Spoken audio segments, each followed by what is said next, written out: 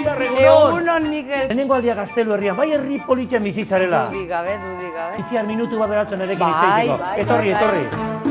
Kontatu pixko bat hemengo historia do noiz ireki zuten hau. Bueno, David eta Ima bikote bazala torri ziren, urrian, notizio hartu ginen, e, lau urte zitxia ondu da, e, Kataloniatik etorri dire. Kataluniatik? E, un egun hoi biztanleko herri batera, eta, eta gogua Euskaraz ikasteko. Aizu herri batetzat gaina horrelako taberna derriko estatu irekitzera bizipoza da, ezta? Elkartzeko gehiena. Atia zabalik ontzia olkorri batin, pues jende zarra, jende gaztia denak elkartzen gara hemen, momentu batin edo bertzin, eta hori da polita, ez, Ba, herri ba. batin eramaten dena, ze ez kuadrilaka, denak elkarrekin. Eta zure lana zein da men? Nik batzutan kusten dietelikan apuratu xamarrak sartzen naiz esku bat botatzera, mostradoria, mailak, ona. sukaldia, libratzera pixko Zuza lagun hon bat. Lagun ona. naiz. Lagun ona. Bizi laguna, bizi laguna. Hoxe, eta- Hori da atzendu zaiguna eta herritan eramaten zena. Hor- Esku bat botatzia ondokuri. Arrazoia, aizu itziar, zerbait berezia hemen prestatzen dutena do, Nik dena gustoko txut, bino gustukona belarria.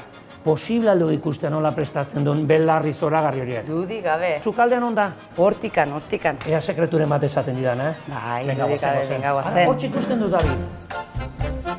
Ah, iritsi gara. Egunon, egunon. Hauxe dugu, sukaldaria. David, txapeldu. David, non ikasi duk errezeta hau? Donostiko bordaberi txak jatetxean, bai. Honek zema demora berdu, itxiar hor, plu, plu, plu, plu, plu. E, sei ordu kontzentu, Sei zu baju bajun, bai. e, berdura askokin. Belarri hauen sekretua zein da. Davidek bere erara egiten du, plantxan jartzen du, eta gelatina hori gogortzen delikan, kremoduan biltzen du, orduan barrentikan gelditzen da bigun biguna eta kanpotikan gogortxiua eta horrek ematen dio bere testura hori, ez? Haze itxurara kan horrek, David, haze itxura. Eta jende entzuten ari naiz hor tabernan, eta nahi dut beraiek ere probatzea, bai. Ea zer esaten duten, eta igual jo kutxiki bat ere ingo dut beraiekin, bai. Bega, bai, gero arte, Gero arte, Mikel. Ze goxua, bera. Egunon, gazteluarrak, zer modu zaudete? Ongi, ongi. Eta ni jakin nahi dut gazteluarrak zenbat dakizuen txerriari buruz. Valentin izango da nire laguntzaia, Valentin jarri hemen, oso ongi. Hemen dago pintxoa. Baina hau probatu nahi baduzuen lehen da biziko asmatu marko zuen, nire galderan batero. Bai! Bai. Oso ongi. Nirekin hasiko naiz, etorri honea. Non dago paleta? Paleti izango gau ez? Alante. Valentin esaten ari da eta txibatzen ari da. oso ongi. Tu pintxoa, zuretza da. Pintxoa, orain beste bat oso ongi. Albos, albos. Venga, albos, etorri. Animalik indazen muz moratzen jaiz. Ongi, Arrontongi. arrunton.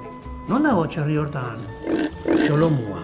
Hemen txer, Hortxe. ez? Cuidao, cuidao, cuidao. Eso es un guidón. Valentin, tastaz, eh? Valentin, Zazpia, cuidao. zazpia. Denak pasatzen ari zara. Hau, gesto gisto zarria du. Albos, sentitzen dit, bino gaur pintxo ez dut probatu da. Zengo, oh, entzute, bueno, eseri albos, Bai. suspenso. Xolomua bai leheno sartu. Ah, bai, esan dezakegu hemen dago xolomua, hori oso mira gorra. Non dago txerri honetan solomilua ba? Seia bosta laua, Bautista eguraldia ematen ari da. Cuidao. Hemen, espetxio, hemen. Cuidao. Oso ongi, ara edo Bautista! Txaloa, oso ongi Bautista, bai! Non dago xingarra? Gugo izutan hiru ginarra. Bai, ongi begiratu. Hala da, oso ongi, artista!